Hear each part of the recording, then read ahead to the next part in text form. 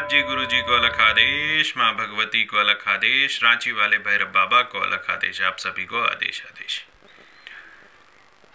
दक्षिण मार्गियों के लिए जो महत्व पवन सूत अनंजय रखते हैं, वही वाम मार्गियों के लिए भैरव रखते हैं।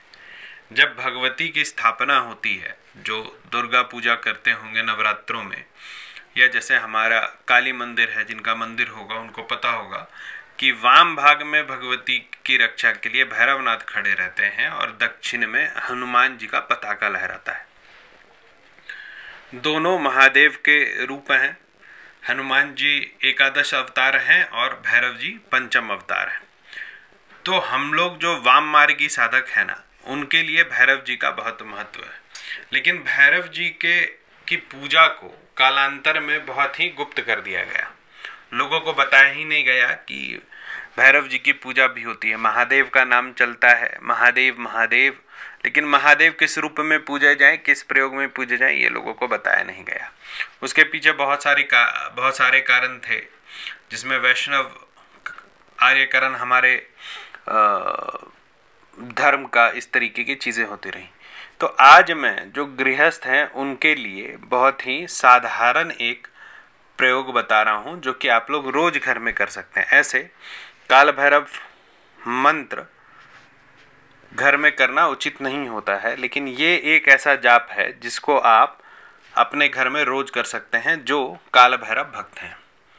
तो इसके लिए क्या करेंगे? ध्यान लगे भैरव जी पर। इसके लिए भैरव जी, चाहे वो रांची वाले भैरव बाबा हों या बनारस वाले भैरव बाबा हों, या काठमांडू वाले भैरव बाबा हों, या उज्जैन वाले भैरव बाबा हों, किसी भी एक भैरव नाथ जी की तस्वीर आप सामने रखेंगे, उनके सामने चौमुखी दिया रखेंगे। भैरव बाबा के सामने हमेशा चौमुखी दिया जलता है, ठीक है? और गूगल का धूप रखेंगे। प्रसाद जो भैरव जी को चढ़ता है, देखो, भैरव का प्रसाद खुद खाएँगे तो अवघड़ माने जाएँगे, और अगर अवघड़ नहीं माना जाना है आपको तो उस प्रसाद को खुद ग्रहण नहीं करेंगे। ठीक है? तो इस साधना में भैरवनाथ को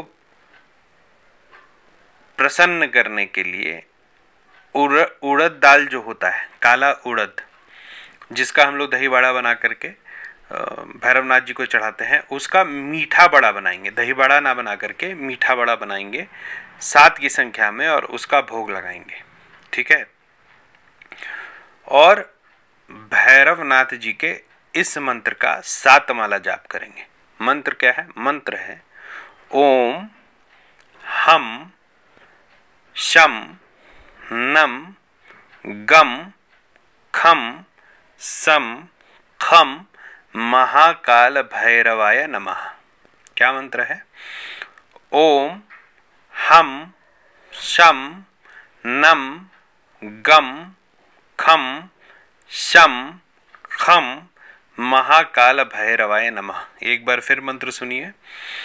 ओम हम शम नम गम कम शम खम महाकाल भैरवाय नमः। जो रोज इसको सात माला कर सकते हैं, वो रोज सात माला करेंगे, जिनको इस मंत्र को सिद्ध करना है। तो इसमें दो विषय है। जो ब्राह्मण वर्ग में जन्मे होंगे, वो इस मंत्र को सिद्ध करने की कोशिश नहीं करेंगे।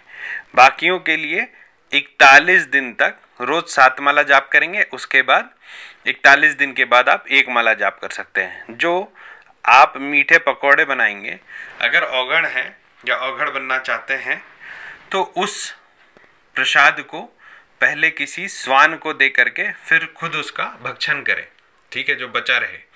और अगर नहीं अवघड़ बनना है तो उस पूरे प्रसाद को, स्वान को खिला दें। रोज आपको नित्य यही करना है।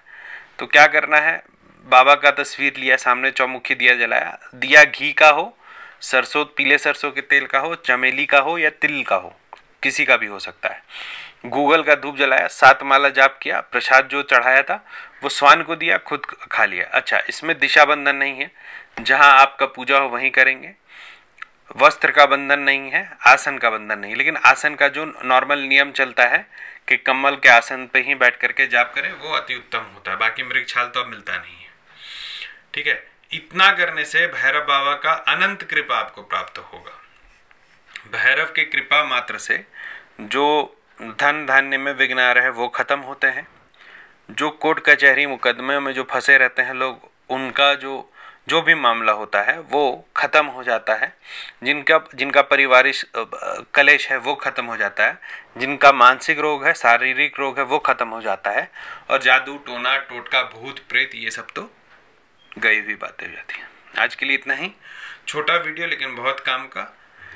जिनको बेसिक साधना सीखनी है, वो मेरे पेड व्हाट्सएप ग्रुप से जुड़ सकते हैं। नंबर है nine four three one one, eight eight five eight five. इसमें साधना का जो शुरुआती विधान है, वो हम आपको सिखाते हैं।